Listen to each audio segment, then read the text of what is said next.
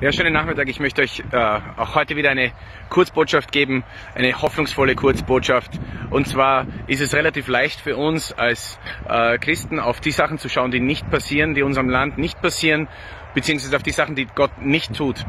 Und ich möchte euch an eine Geschichte erinnern, und zwar ist das die Geschichte von David und Goliath. Und Goliath macht sich über das Volk Gottes lustig, macht sich über die Armee, über das Heer Gottes lustig. Und da kommt ein Mann, ein junger Mann, fast schon ein Bub zu dem Zeitpunkt. Und er schaut nicht auf den Riesen, er schaut nicht auf die Herausforderungen, sondern er schaut auf seinen eigenen Gott. Und er kommt diesem Riesen entgegen und sagt, wer bist du?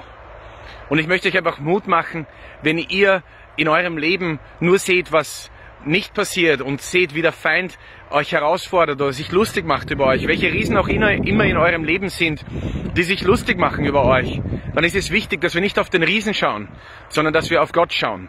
Dass wir auf den schauen, der hinter uns steht, der vor uns steht, der um uns steht. Äh, denn die Bibel sagt, größer ist der, der in uns ist, der, der als dieser, der in dieser Welt ist.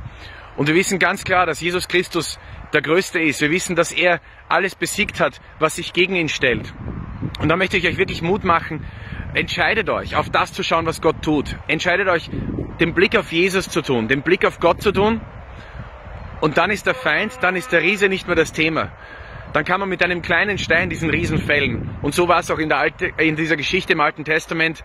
David nahm einen ganz kleinen Stein und brachte einen Riesensieg für das Volk Gottes. Und so kann es auch in unserem Leben sein, wenn wir unseren Blick auf Jesus haben, wenn wir unseren Blick auf Gott haben und auf seine Größe haben, dann ist es nicht wichtig, wie groß der Riese ist, sondern dann können wir einen kleinen Stein nehmen und der Zuversicht Gottes können wir diesem Riesen entgegentreten und sagen, Gott ist größer und dieser Riese wird fallen.